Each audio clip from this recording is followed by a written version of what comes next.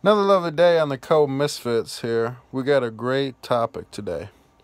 We're going to talk about B-vents and we're going to talk about how to maintain your slope and what we're looking for. And this is a great example.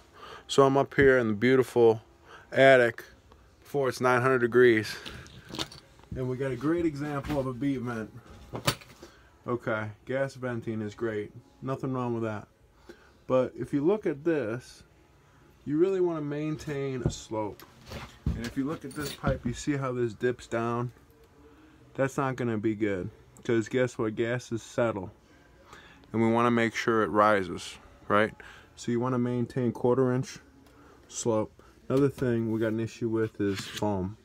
A lot of guys are into this spray foam, which spray foam, I think the intent was really for like a through penetration like 4NM cable, like that cable running through or going around that. That's a great example what spray foam's good for.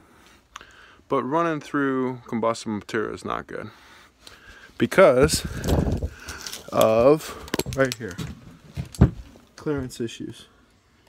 We got to make sure you maintain your clearance issue. Another example of what we're looking for is right here metal strapping versus combustible strapping that's not going to work because guess what? That's going to fail. It's going to heat up, potentially cause a fire. More importantly, potentially crack, strain the pipe, and now instead of venting out, your exhaust is venting in to your home. So, just a little helpful tip. You have a great day.